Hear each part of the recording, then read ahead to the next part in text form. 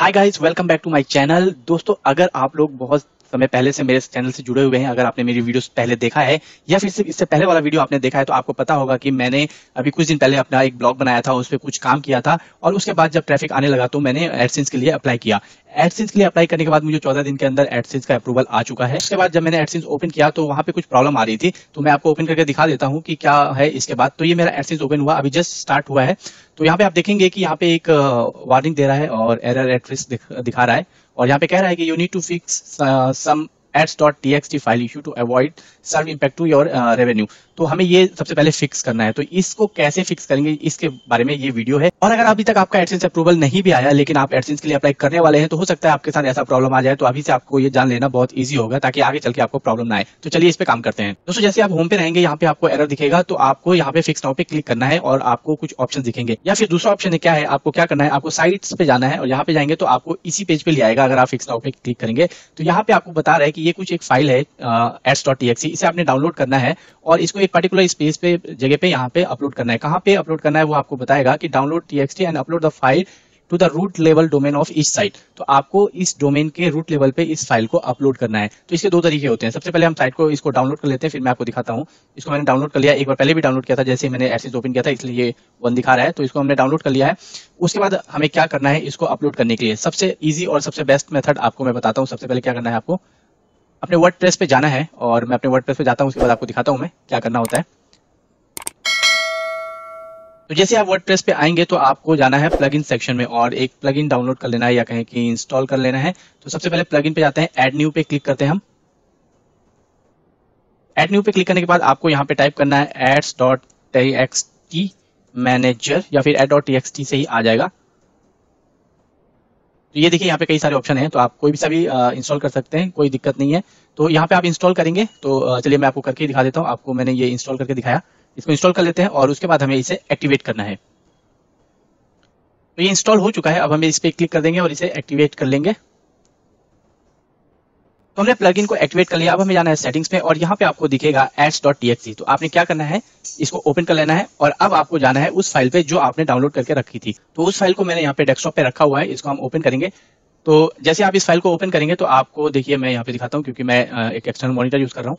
तो यहाँ पर आपको कुछ इस तरह का यहाँ पे टेक्स्ट लिखा हुआ है। इसमें फोर सेक्शन होते हैं और आपको ये ध्यान देना है, सभी कॉमा होने चाहिए। बेसिकली आप इसे कोई छेड़छाड़ ना करिए तो ही ज़्यादा अच्छा है। इन सब का एक मीनिंग होता है। तो किसी वीडियो में हम आपको बताएँगे इनका मीनिंग क्या है। गूगल डॉट कॉम यहाँ पे आपकी पब्लिशर आई है डायरेक्ट की और ये कोड क्या है। इसका एक पर्टिकुलर मीनिंग होता है, जो हम कभी बाद में समझेंगे। और अगर आपको जानना है तो बताइएगा, मैं आपको बता दूँगा। तो अभी हम इसको सॉरी मैंने क्लोज कर दिया बट हमें इसे ओपन कर लेना है और इसे कॉपी कर लेना है। तो हम इसे कंट्रोल सी दबा के मैंने इसे कॉपी कर लिया है। और कॉपी करने के बाद मैं आपको दिखाता हूँ। आपको यहाँ पे जाके इसे पेस्ट कर देना है और नीचे आके इसे सेव चेंजेस कर देना है। तो आप ये सेव चेंजेस करेंगे तो आपका काम हो गया यहाँ पर।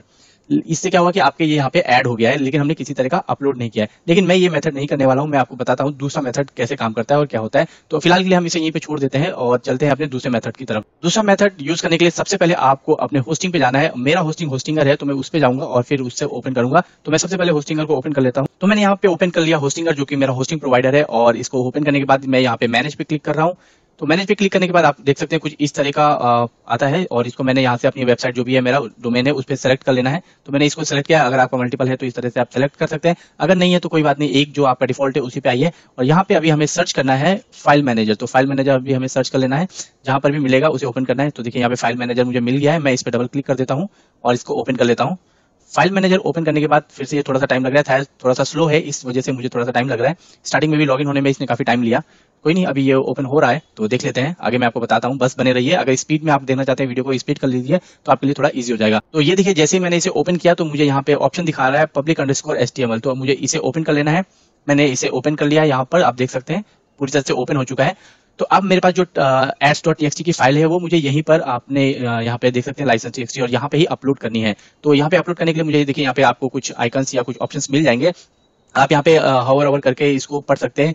New files new folder search यहाँ पे स्ट्रिंग वगैरह refresh sign out icon language तो मुझे जाना है यहाँ पे फ़ाइल अपलोड पे। फ़ाइल अपलोड पे क्लिक करेंगे तो ये मुझे कहेगा फ़ाइल सेलेक्ट करने के लिए। तो मैं फ़ाइल को पहले सेलेक्ट कर लेता हूँ और ये मेरी फ़ाइल है, इसको मैं सेलेक्ट कर लेता हूँ ओपन किया, इसके बाद मैं इसे अपलोड कर दूँगा। तो अपलोड करने के बाद ये यहाँ पर दिखनी शुरू हो जाएगी। तो 100 परसेंट अपलोड हो चुका है। अब ये रिफ्रेश हो रहा है, ये ऑटोमेटिक हो रहा है, मैंने कुछ भी नहीं किया। तो यहाँ पे अभी देखते हैं कहाँ पे है वो फ़ाइल ये देखिए एड्स डॉट टी फ़ाइल यहाँ पे अपलोड हो चुकी है तो अब हमें यहाँ कुछ भी नहीं करना है, इसे ऐसे ही छोड़ देना है लॉगआउट करना है तो लॉगआउट करिए, बाहर निकलना है तो डायरेक्ट बाहर निकल जाइए इसे क्लोज कर दीजिए। अभी हम जाएँगे अपने जो हमारा एडसेंस का अकाउंट था, उस पर जाएँगे और इसको हम एक बार रिफ्रेश करेंगे। लेकिन मैं आपको बता दूँ, ये अभी एरर बहुत जल्दी जाने वाला नहीं है, क्योंकि गूगल ने जो मैसेज दिया है, उसमें लिखा है कि आपको थोड़ा सा टाइम लगेगा। थोड़ा टाइम मतलब चौबीस घंटे भी लग सकते हैं, अड़तालीस घंटे भी लग सकते हैं, एक हफ़्ता भी लग सकता है।